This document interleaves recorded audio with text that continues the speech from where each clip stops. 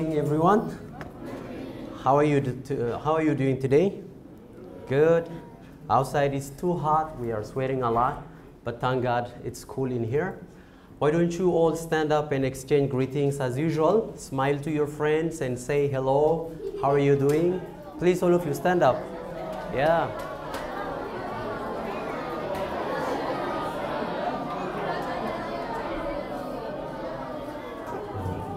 Okay, thank you. We give praise and thanks to God for this another opportunity. I'm standing here to share the word of God from the book of Matthew, the Gospel of Matthew, chapter 7, verses 24 to 27. And my, the title says, The Wise Builder and the Foolish Builder. Let's read the title all together. Yeah, there are two different kinds of builders, and this is a parable Jesus used to teach some truth about the kingdom of God, and we're going to share that together today.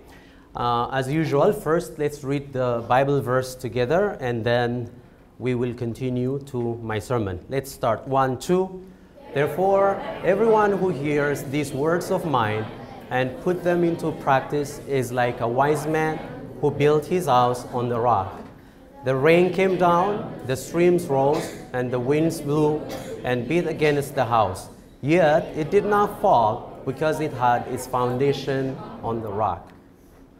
But everyone who hears these words of mine and does not put them into practice is like a foolish man who built his house on sand. The rain came down, the streams rose, and the winds blew and beat against that house, and it fell with a great crash. Um, how many of you know this house? Uh, this is a very huge Lego house, and uh, I think it's found in uh, Denmark. Um, do you like Lego? Um, let me see, how many of you are a big fan of Lego? Wow. Yes, we even have adult fans of Legos, including me. But, you know, it demands a lot of patience. Now, this one is a Lego house. Um, there are many experience zones, uh, zones that you can see on the picture, and the colors are also not the same. Different colors represent different kinds of activities. So when you go there with your family, with your friends, or maybe alone, you have to know which color represents what kind of special activities. So for example, the red one there at the back, it is a creative zone. When you want to enhance your creativity, you will go there. And the blue is focusing on the cognitive, and the green is for social interaction, and the yellow is for emotional experiences. Can you guess how many pieces of Legos could be found there? More than two millions of Lego bricks. It's amazing. You can build, you can build anything you want from your creativity or even following manuals. So I told you some people, adults are a big fan of Lego. And uh, you know this man, this man is very famous YouTuber. He built a very huge Lego house and he's enjoying staying inside and looking to, through the window. And you can build any kind of structure actually um, following your own creativity. What kind of constructions did you make uh, from Lego? Like some of you said you like Lego, right? What did you construct? Like what? Houses? Spaceship. Okay, good. Car? Uh huh. Giant. Okay, giant dolphin. Did you try? Not yet. Not yet. In the future. Okay, you small. Okay. I hope you will one day also construct a huge dolphin. That. Okay, that's his wish. Good luck. And uh, some people. Okay, over there. What?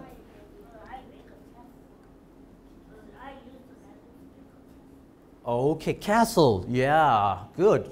He used Lego to build a castle. How about you? Horse? Wow, that's amazing. There are different kinds of structures that you can make cars and guns and jets, a lot of different things. And also, I think uh, you, you see here some students, some children, they built about 800 students, kids, aged between 5 to 13. They built a huge, largest Lego BMW X1. Can ride it too? Uh, not two, one, two. Open the door. Um, maybe we can open the door. About 800 kids. Actually, you cannot capture all of them at a time in one picture. We see some of them here. And guess what? Can you guess how many pieces of Legos did they use here? 156,000 Legos. And it took them four days. It was on display. Do you want to par- participate in this kind of project? Yeah. Okay. Yes. Some said no. Some said yes. I know. And also there is a Legoland in Korea. Oh, I go there. I go there. Okay. How many of you have been there? Okay, quite a number of you. This was, I think it was inaugurated 2022. And I heard this is uh, maybe the first largest, I'm not quite sure. Maybe there is also a huge Legoland in Malaysia. It could be the first or the second. Um, it covers 280,000 square meter. It's really big. It is, I think, found in Chuncheon. And uh, I'm pretty sure we all know this foundation when we build Lego, right? Especially if you want to build a huge construct like a big house or something else, like maybe the dolphin you mentioned. You need this kind of foundation. If you do not have this foundation, especially if you are trying to build a house, the house will not be strong enough to last longer. All of you, please say, perfect foundation. That's what you need in order for you to build a strong construct using Legos. You need to have foundations. In our scripture reading today, Jesus Christ was talking about two different builders. One is wise builder and the other one is foolish builder. But what made them wise or foolish? It is their choice of the foundation they built the house on. Jesus said uh, obedience is the foundation of Christian life. That's what he said. Unless you listen to the very word that I am telling you and you put them into practice, you are building on very fragile background. Obedience is like a solid foundation for our Christian life. In the story we heard, Jesus said, Those who listen to my word and put them into practice in their everyday life, they are compared with wise people. And when Jesus said, Obey my word, at least there are three things that we needed to consider when it comes to obedience. First, we need to obey the word of God. All of you, please say the word of God. That's the first one. And second, we need to obey the authority, the authority of the Lord. Of course, the word has the authority of God. And we need to always respect and obey that too. And then the third one is the will of God. These three things are intertwined together. The Word of God has the authority of God, and it also reveals the will of God. Then, as Christians, do you know why Jesus told this parable to the disciples? It is because there are lots of people who just listen to the Word of God and they think they have fulfilled every Christian requirement simply by listening the Word of God. That's why James, he said, do not deceive yourself. or yourselves by only listening to the Word of God. There are so many people, thousands and millions of people who read the Word of God, who listen to sermons and um, uh, teachings in the church, but the thing is that it is not that easy to put them in practice. And Jesus wanted to give an emphasis on that. Without we obeying God, we cannot have a solid foundation in our Christian life. Therefore, he said, obey the word of God. And then we say here, obeying the word of God is also full submission. Full, sometimes we submit to God partially. There are some parts of our life that we want to give to God, and there are some part of our life we want to spare. But we say here, we have to willingly and completely surrender, submit our life to God and obey. And that serves us as a foundation.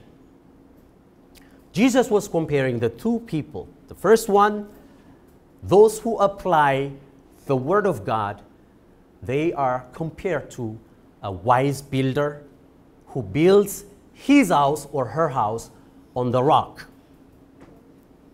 And then Jesus again, he compared those who hear the word of God and immediately forget.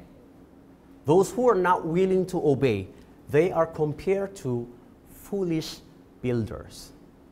As I've already told you, the difference between these two different kinds of people is their choice to build their house. You can imagine the process of building will be very much different when someone chooses to build his house on the sand and other people when they try to uh, build their house on the rock. The process is very demanding. But the thing is, like, both houses will be tried with the same kinds of challenges. In the parable, Jesus said, the wiser person built on the rock Building a house on the rock is not easy. Why? Why do you think it's not easy to build a house? Huh? It's, it's not easy to dig in, right? Because the rock is hard. What else? It takes time, right? Okay, you want to say something? Okay. what else? Why it is hard to build a house or construct anything on a rock? It takes time. Uh-huh. break the rock? Mm-hmm. Yeah, you need to break the rock, and that needs a lot of effort, right? And it takes time. It's demanding anyway. It needs determination. It needs patience. And unless you put some kind of imagination, thinking the benefit that's coming in the future, it will be very much trying actually to build a house on a rock. You, you have to remember that when Jesus was telling this parable, there was no any sort of machine that we wanted that we used to drill a rock. If they have to build a house on a rock, they have to dig in manually, physically. Was very demanding. And the second one is building a house on the sand.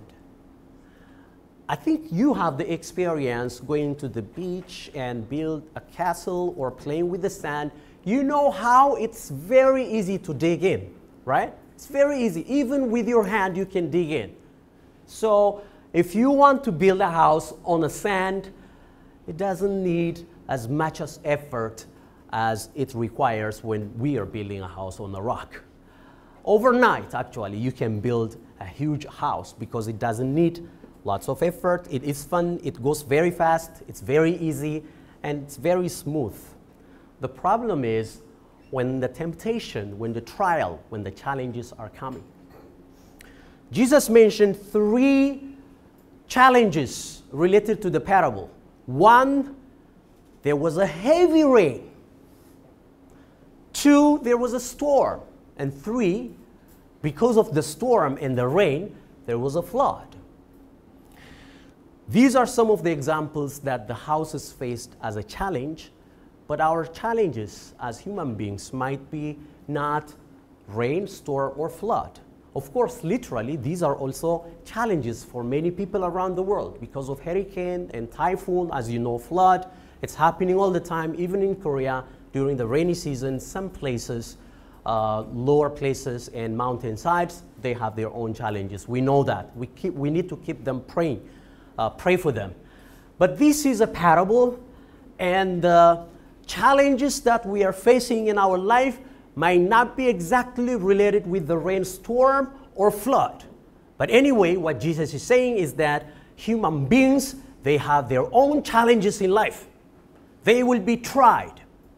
There is something that will test, test their uh, life. There's a life test. What is the problem now? The house that is built on a rock and the house that is built on the sand will have no same kind of consequences when it comes to this challenge. The house that's built on a rock, it was able to, to withstand all kinds of challenges it was facing. Why? Because it was built on the rock.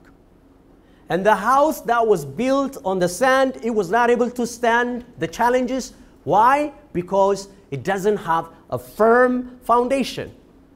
And the consequence, the result is not the same.